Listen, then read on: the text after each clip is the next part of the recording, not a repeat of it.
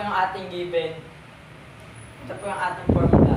A sub n is equal to A sub 1 plus n minus 1 times common difference. Yung A sub n po natin, 158. Yung A sub 1 po natin is 68 and common difference is 3 and yung hinahanap po natin yung n. 158 is equal to 68 plus n minus 1 times 3.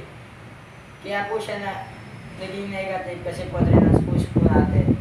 158 minus 68 is equal to n minus 1 times 3. Ang magiging sagot po natin dito is 90. Kaya 90 equals n minus 1 times 3. Magdi-divide po tayo sa common difference and cancel.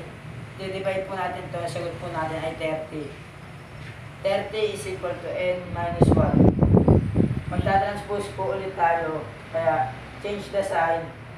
30 plus 1 is equal to n. Kaya pag pinag-plus po natin siya is 31. Kaya po ang magiging sagot natin, ang, ang n term po natin ay